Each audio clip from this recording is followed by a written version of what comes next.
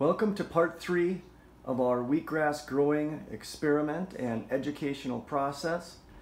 Look at how nice this stuff has come in. Tonight we're going to harvest, but I'd like to give a quick recap on all the things that we did to get to this point. We're not quite to eight inches, but we're going on vacation tomorrow, so I got to cut them down tonight. We're going to lose a little bit of production, but that's okay. It'll be well worth it. We've got good growth. We're probably 90% there, so that's good enough for me. So if you remember, from step to step, we started by soaking the seeds for about 12 hours. Then we put them into the trays and we covered them and kept them in darkness for a couple days until they started to sprout. Then we let them into the light and we've been rinsing the trays twice a day, once in the morning, once at night, and draining them off to keep the roots moist, but to, to keep excess moisture out of the tops, therefore reducing the mold or eliminating the mold that sometimes grows deep down in the base. And if I find some as we cut this down, um, I'll show it to you. What we're gonna do next is actually process this wheatgrass and turn it into wheatgrass juice.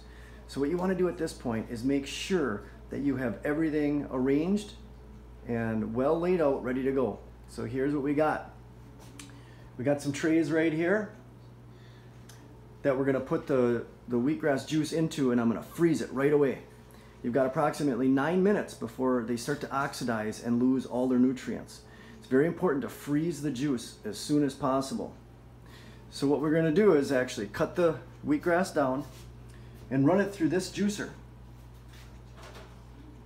This is a slow turning masticating juicer. Low RPMs are the key. If you chop it and grind it fast, it starts oxidizing immediately and you lose your nutrients. So you want to grind it and squeeze it slowly to get the juice out and you got her made. All those vitamins and nutrients will be held within the juice. Over here, we've got our one ounce, one uh, ounce cups ready to go. So when I get that first crop ground up into juice, I'm gonna put them in these cups with lids and freeze them as soon as possible.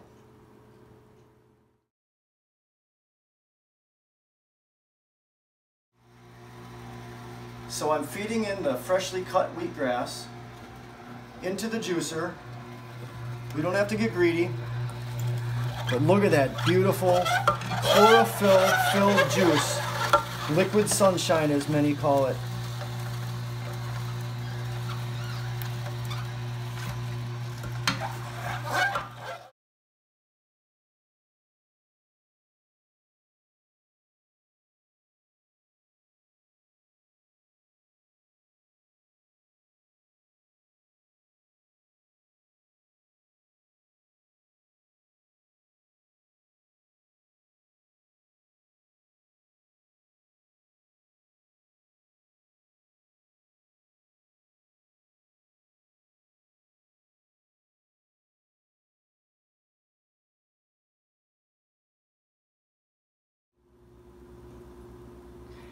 And there you have it, my friends. I've got a little bit of a mess and I'm very tired. It's 10:30. I had a big day and sometimes the farm won't wait.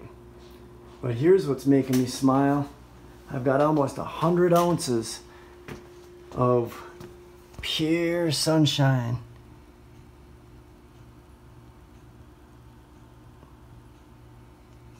I'm using Mother Nature to keep it frozen for now. Then I'll organize it in my freezer before bed. And every morning I'll have a nice ounce waiting for me. This was well worth the time spent. Lots of fun, great health. Please like and share and subscribe to my channel. Make comments if you have any questions. Contact me anytime. I'm here to help. Have a great night. From the Anywhere Farm,